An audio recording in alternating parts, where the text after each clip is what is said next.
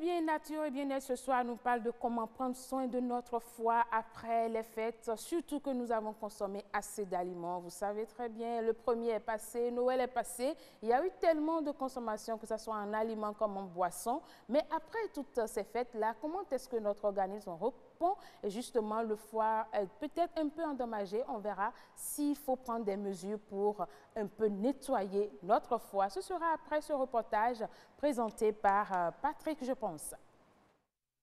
Ce qui est recommandé donc pour une femme, donc journalièrement, et ce qu'il ne faut pas dépasser, c'est 20 grammes d'alcool par jour. Donc quand on prend la bière, c'est deux verres donc, de bière. Ne pas finir donc la grosse bouteille, parce que la grosse bouteille, ça fait trois verres de bière. Or, côté homme, c'est 30 grammes d'alcool donc, qui est recommandé, qu'il ne faut pas dépasser donc, par jour. Ça fait donc les trois verres donc, de bière. Et si on dépasse ça, c'est qu'on s'expose donc à des risques donc pour sa santé. Si quelqu'un donc euh, abuse, dépasse donc cette dose, il est exposé à des pathologies telles que euh, le cancer, c'est qu'au fil des années, il peut développer facilement donc un cancer. Il peut aussi donc faire développer donc des maladies qu'on appelle donc les maladies cardiovasculaires, donc liées au cœur et au vaisseau. Et il peut aussi faire donc des accidents donc vasculo-cérébrales. Il peut perdre donc connaissance, perdre donc un côté. C'est là on parle donc il a fait la crise. C'est ce que dit donc souvent, c'est ce qu'on entend dans la population. Il a fait une crise, il a perdu donc un côté, il est devenu donc paralysé.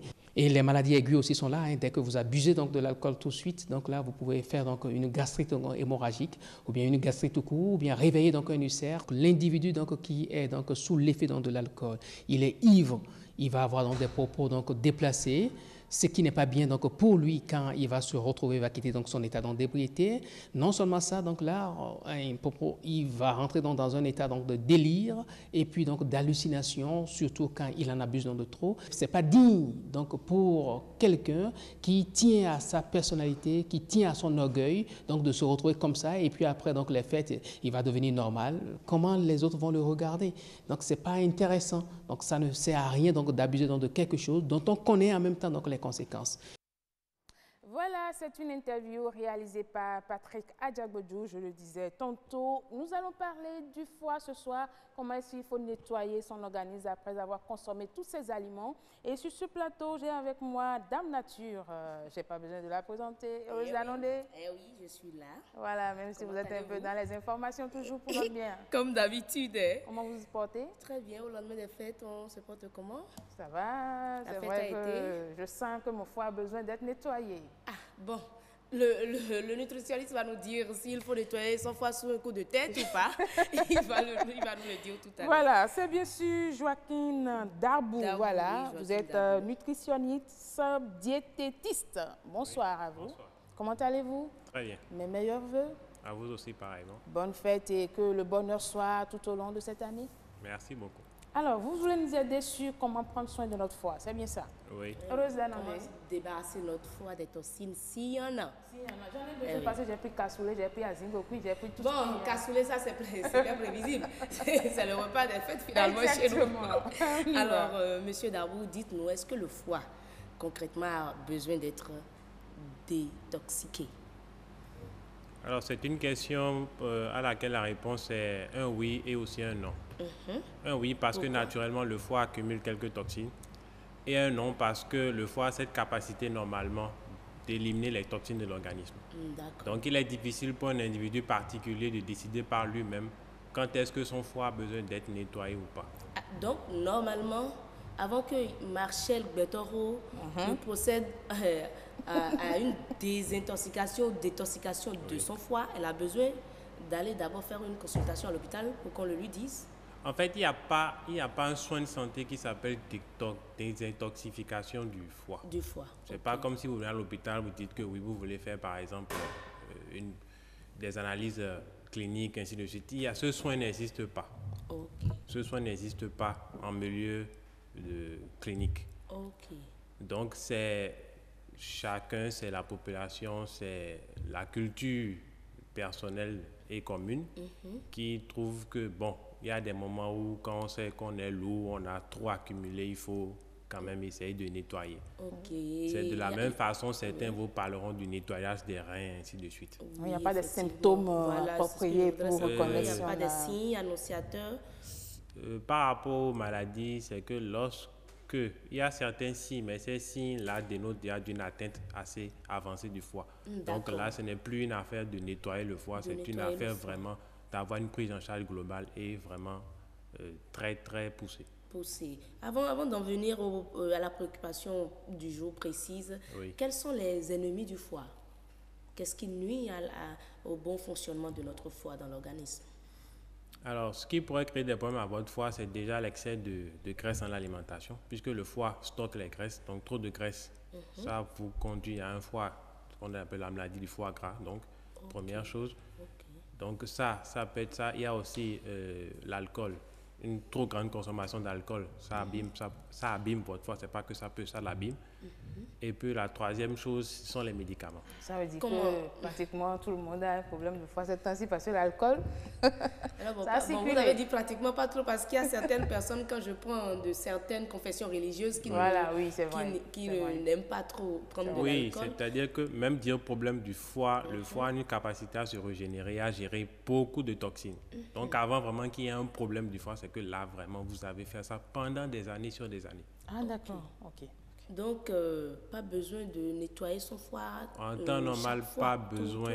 Pas comme un nettoyage où on va sortir toute la poussière du gaz. Pas comme une perruque où vous vous programmez. Voilà, l'entretien tout le temps. Non, ce n'est pas, ce n'est pas comme ça. Une fois l'an, c'est bon en ce qui concerne la périodicité? Non, c'est-à-dire que ce n'est pas, euh, comment je vais dire ça? Ce n'est pas une bonne manière de penser qu'on peut faire ce qu'on veut et à un moment donné décider de bon, tout ce qu'on a fait avant, on va maintenant nettoyer ça. Ça ne se passe pas comme ça.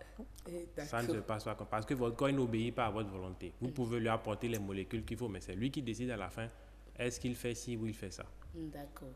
Alors, si je comprends bien, les ennemis du foie, donc, nous avons parlé des, des aliments trop, trop gras. Il y a trop de graisse, oui. il y a trop d'alcool. Et il y a aussi les médicaments. Les médicaments. Oui, trop de médicaments. Voilà, donc les personnes qui sont déjà, bon, quand je prends les cancéreux qui sont sous médicaments tout le temps, ce sont des personnes qui... Ce sont des personnes chez qui on surveille différents paramètres. Ok. Parce que la polymédication, déjà à partir de plus de 5 médicaments. Et mhm. puis il y a certains médicaments, si vous lisez bien les notices, vous verrez qu'il y a des risques d'atteinte hépatique. Ok. Donc ces médicaments sont normalement surveillés. On ne, on ne vous prescrit pas certaines doses, sauf si vous êtes vraiment dans un état où on n'a pas le choix pour vous sauver dans l'heure qu'il vient ou dans la minute qui vient, on doit passer une dose supérieure. Mais après, on essaie tout de trouver l'équilibre. Mais pas forcément, pas nécessairement. Cela ne passera plus pour euh, une détoxication du foie. Non, non, ça ne se passe pas pour une détoxication du foie. Hmm, d'accord. Alors, euh, la préoccupation du jour, comment purifier son foie? Quels sont les produits qu'il faut Comment ça fonctionne parce que même si Rose ne reconnaît pas, moi je reconnais que j'en ai consommé assez. pas que je ne le reconnais pas, mais bon. C'est pas grave. J'en ai consommé, aidez-moi. Comment est-ce que je peux purifier un peu mon foie? En parlant de purification du foie, en nettoyage du foie, il y a certains aliments qui sont scientifiquement connus pour aider quand même le foie à éliminer les toxines qui sont contenues. Donc on parle par exemple de l'ail, on parle du curcuma, on parle de, de la betterave, on parle des avocats, en gros, c'est en fait des aliments qui sont riches en antioxydants. Ok. Des aliments riches en, antioxydants. Il n'y a pas la pastèque par hasard, parce qu'on a souvent tendance à entendre dire quand vous consommez assez de pastèque, c'est que vous nettoyez votre foie, c'est vrai? C'est possible. Comme je vous dis, l'alimentation, c'est un ensemble de choses. C'est un peu de ça, un peu de ci, plus un peu de ci qui donne ça. Donc, prendre un seul aliment, le consommer, penser qu'il va régler un problème, ce n'est pas vrai. D'accord. Euh, si je prends l'ail, est-ce qu'il faut consommer l'ail seul ou accompagné de quelque chose pour parler de, euh, pour obtenir ce, ce rôle-là de l'ail sur le foie? Euh, Bon, il y a des recettes qui existent. Oui, il y a des combinaisons qui existent, mais qui n'ont pas été testées scientifiquement. Donc, je ne peux pas en parler ici. Ce que je peux vous recommander, mhm. c'est d'essayer d'avoir ces aliments dans votre alimentation au quotidien. Donc de l'ail, n'hésitez pas à mettre de l'ail dans vos préparations, mhm. n'hésitez pas à manger des fruits, n'hésitez pas de temps en temps de l'avocat. Et l'avocat, quand on le mange, on ne met pas d'huile en plus dessus puisqu'il est déjà gras. Le curcuma, si vous en avez, vous pouvez faire, il y a des recettes que vous pouvez trouver sur Internet pour préparer le jus de curcuma avec lequel on fait même le riz. Vous mettez du curcuma, vous faites cuire le riz. Vous avez le curry qui est un dérivé du curcuma aussi. Voilà, donc que vous pouvez mettre aussi en sauce, ainsi de suite. D'accord. Il y a certaines idées, hein, Marshall a commencé par en, avancer tantôt, qu'on obtient sur les réseaux sociaux, même des, euh, des recettes de grand-mère, euh, bicarbonate, euh, la tisane. Il y a également l'apéro béninois, je dirais, sodabi avec atino, tout ça, tout ça, mélangé. Pour, et on dit que ça nettoie le foie. C'est vérifié? Pour vous, non, nutritionnistes Ce n'est pas vérifié. Il n'y a aucune étude qui ait soumis les gens à ce traitement-là. Ce que je sais de l'apéro, c'est que ça vous creuse le ventre. Mhm. Et puis, c'est quand même de l'alcool après tout. Voilà. Donc, on peut, en voulant se désintoxiquer, on dirait même que c'est l'effet contraire. Voilà, hein? donc c'est ça. Surtout si vous ne savez pas ce qui a été mélangé, mhm. rapidement ça pourrait devenir autre chose. Autre chose. Mais comme je le dis, c'est lorsque le comportement est répété sur pour l'habitude de faire ça, de faire ça, que là vraiment vous endommagez le foie à un niveau où il ne peut plus se reconstituer. Mm, d'accord. Ah ben, avant dernière question peut-être parce qu'on m'a dit tantôt, j'ai je crois environ encore une minute peut-être. Ceux qui se portent bien, les personnes bien portantes qui ne sentent aucun souci de santé peuvent procéder à, aux désintoxications ou à une désintoxication de leur foie? Euh, les personnes qui bon, quand on dit que vous sentez bien griffe aussi, c'est voilà, toujours un griffe. Alors, donc, c'est pas, il ne faut pas attendre d'avoir le mal avant de commencer à le soigner. Il mhm. faut déjà commencer à tout faire pour avoir une alimentation correcte. Mhm. Commencer à limiter les excès les week-ends. Parce que, pour vous donner un exemple, si vous prenez une femme qui a 25 ans et qui pèse 60 kilos, pour brûler ce qu'elle a consommé dans des 1000 litres de soda, il lui faut faire de la marche pendant 60 minutes ou du jogging pendant au moins 35 minutes. D'accord. Donc, vous voyez que rapidement, ces excès que vous alignez sur les week-ends, sur les journées, ainsi de suite, après, ça finit par vous rattraper et ça devient mhm. difficile de tout débarrasser. De tout débarrasser. Des conseils, assez de conseils surtout, hein, pour euh, qu'on n'en vienne pas à une désintoxication du foie. Assez de conseils, mais très rapidement, hein, 30 secondes. Oui, ok. Donc, le premier conseil, c'est déjà d'arrêter d'empiler d'empiler les choses. Mais en période de fête, vous pouvez avoir des repas qui sont quand même assez corrects et sans trop exagérer. Donc déjà, c'est qu'il faut arrêter parce que si vous continuez, ça ne sert à rien. La deuxième chose, consommer assez d'eau parce que si vous avez bu de l'alcool, tout ça, il faut qu'il y ait de l'eau qui vienne pour aider l'organisme à faire sortir certaines choses. Et la troisième chose, aller faire du sport. Voilà. Ah, je, je, m'y attendais en fait. le sport. Du sport, ce sera peut-être le. Ah oui, bon. Chez vous, c'est quoi? Je vais au sport ce soir? Non, moi, je, je, fais du sport tout le temps. Je marche assez. C'est déjà suffisant.